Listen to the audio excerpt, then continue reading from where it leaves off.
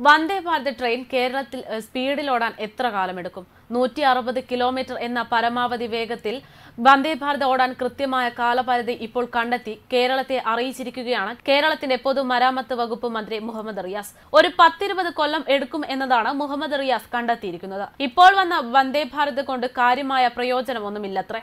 വളവുകൾ നികത്തി ഓടാൻ പത്തിരുപത് കൊല്ലമാകും. പത്തിരുപത് എന്ന് പറയുമ്പോൾ റിയാസിന് പോലും നിശ്ചയമില്ല. പത്തിൽ നിന്ന് ഇരുപതിലേക്ക് ഒരു പതിറ്റാണ്ട് ദൈർഘ്യം ഉണ്ട് എന്നത് കൃത്യത കുറിക്കുന്ന റിയാസ് മറന്നു. വന്ദേ ഭാരത് എക്സ്പ്രസ് സിൽവർ ലൈനിന് ബദലാകില്ലെന്നും മുഹമ്മദ് റിയാസ് പറഞ്ഞു.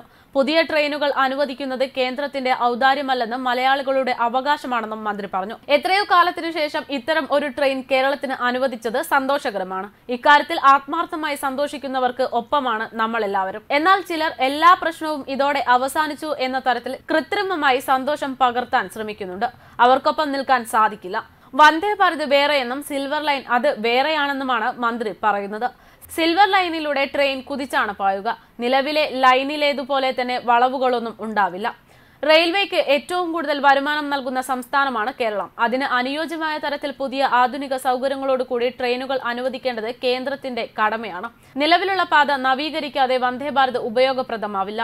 ജനശതാബ്ദി എക്സ്പ്രസിന്റെ വേഗത്തിൽ മാത്രമേ വന്ദേ ഭാരതിന് ഇപ്പോൾ സഞ്ചരിക്കാൻ സാധിക്കുകയുള്ളൂ. യഥാർത്ഥ വേഗതയിൽ സഞ്ചരിക്കണമെങ്കിൽ നിലവിലുള്ള പാതയിലെ അറുന്നൂറിലധികം വളവുകൾ നിവർത്തേണ്ടതുണ്ട്. നിലവിലുള്ള ട്രെയിൻ ഗതാഗതം തടസ്സപ്പെടുത്താതെ ഭൂമി ഏറ്റെടുത്ത് ഈ അവസ്ഥ പരിഹരിക്കാൻ ശ്രമിച്ചാൽ തന്നെ പത്ത് മുതൽ ഇരുപത് വർഷത്തിനുള്ളിലേക്കെങ്കിലും എത്തും എന്നതാണ് മന്ത്രി പറയുന്നത്. എന്നാൽ ഇത് നടപ്പാക്കാൻ ആവശ്യമായ സ്ഥിതി സംസ്ഥാനത്ത് ഇപ്പോൾ നിലവിലില്ലത്രേ. അതിന് വരുന്ന ചെലവ് കൂടി പരിശോധിക്കുമ്പോൾ അത് അതിഗംഭീരമായി മാറും. ദേശീയപാത വികസനം കൊണ്ട് മാത്രം നമ്മുടെ പ്രശ്നങ്ങൾക്ക് പരിഹാരമാവില്ല എന്ന ബോധ്യത്തിൽ നിന്നാണ് സിൽവർ ലൈൻ എന്ന പദ്ധതി സംസ്ഥാന സർക്കാർ മുന്നോട്ട് വയ്ക്കുന്നത്. സിൽവർ ലൈൻ ഇരുപത് മിനിറ്റ് ഇടവിട്ട് സർവീസ് നടത്താനാണ് ഉദ്ദേശിക്കുന്നത്. അങ്ങനെ വരുമ്പോൾ മൂന്ന് മിനിറ്റ് ഇടവിട്ട് ഒരു ട്രെയിൻ എന്ന നിലയിലേക്ക് മാറ്റാൻ സാധിക്കും.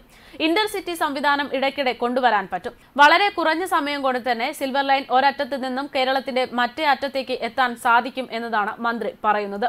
അതുകൊണ്ട് തന്നെ വന്ദേ ഭാരത് പോലുള്ള ട്രെയിനുകൾ സിൽവർ ലൈനിന് ഒരിക്കലും പകരമാകില്ല എന്നതാണ് യാഥാർത്ഥ്യം. ഗതാഗത കുരുക്കിൽ വീർപ്പുമുട്ടുന്ന കേരളത്തിന് ദേശീയപാത അറുപത്തിയാറിന്റെ വികസനവും തീരദേശ പാതയും മലയോര പാതയും വലിയ ആശ്വാസമാണ്. എന്നാൽ സിൽവർ ലൈൻ പോലുള്ള പദ്ധതികൾ കേരളത്തിന് അനിവാര്യമാണ്. കേന്ദ്ര ഫണ്ട് ലഭ്യമായാലും ദേശീയപാതയുടെ വികസനം പ്രായോഗികമായി നടപ്പിലാക്കേണ്ടത് സംസ്ഥാന ഗവൺമെന്റാണ് സംസ്ഥാന സർക്കാരിന് ഇതിൽ എന്താണ് പങ്ക് എന്നത് ചിലർ അറിഞ്ഞുകൊണ്ട് ചോദിക്കുന്നതാണ്. സംസ്ഥാനത്തിന്റെ ഫണ്ടുമുണ്ട് എന്നതുകൊണ്ട് തന്നെ മാത്രമല്ല സംസ്ഥാന സർക്കാർ ഇതിൽ ഇടപെടുന്നത്. ദേശീയപാത വികസനം സംസ്ഥാന സർക്കാരിന്റെ സ്വപ്ന പദ്ധതിയാണ്. കേരളത്തിലെ ജനങ്ങൾ കൊടുക്കുന്ന നികുതി പണമാണ് കേന്ദ്ര സർക്കാർ തിരിച്ചു തരുന്നത്. അത് ആരുടെയും ഔദാര്യമല്ല. അത് യാഥാർത്ഥ്യമാക്കാനാണ് എല്ലാ വകുപ്പുകളുടെയും ഏകോപനത്തോടെ മുഖ്യമന്ത്രി ഇക്കാര്യത്തിൽ ഇടപെട്ടത്. അതുകൊണ്ട് തന്നെ രണ്ടായിരത്തി ഇരുപത്തിയഞ്ചോടെ ദേശീയപാത വികസനം പൂർത്തിയാക്കുമെന്ന് നിശ്ചയദാർഢ്യത്തോടെ സംസ്ഥാന സർക്കാരിന് പറയാൻ കഴിയുമെന്നും മന്ത്രി റിയാസ് പറയുന്നു. News desk Karma news.